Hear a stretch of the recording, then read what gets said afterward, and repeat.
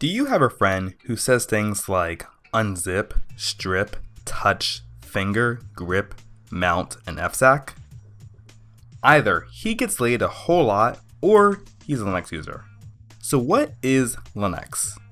Okay, let's start simple. You're familiar with Windows and Mac OS. Well, another operating system is Linux.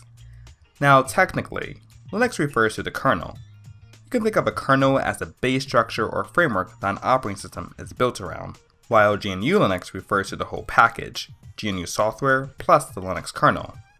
But just know, everyone simply calls it Linux. So how is Linux different from Windows? For starters, Linux is open source. This means that anyone can help contribute to the development and anyone is free to modify and redistribute the source code. As a result, there are many operating systems using the Linux kernel, such as Ubuntu, Chrome OS, and Android. In fact, you can find Linux running on many things such as ATM machines, government facilities, NASA, Amazon, Facebook, and Google all use Linux in some way, most web servers use Linux, and even some cars and animated movies use Linux.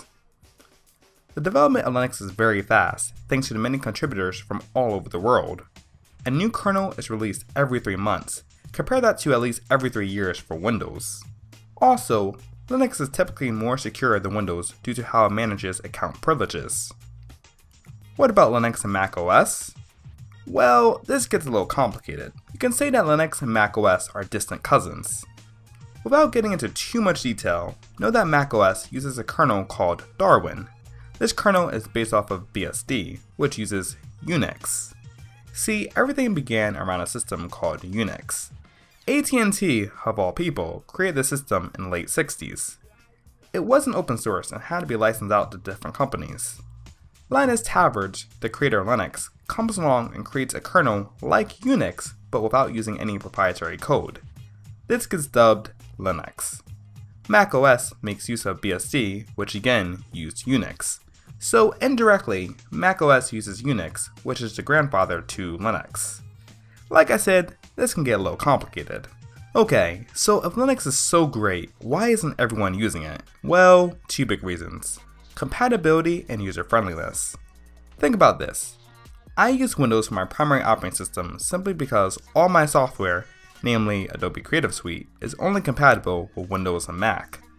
And while Steam does work on Linux, you're not going to find many of the latest AAA titles available for Linux. And finally, I hate to admit it, but Linux is not that user friendly. You're often going to have to do some research and figure a lot of things out for yourself. So guys, there you have it. That is a quick look at Linux. If you liked this video, definitely give it a thumbs up.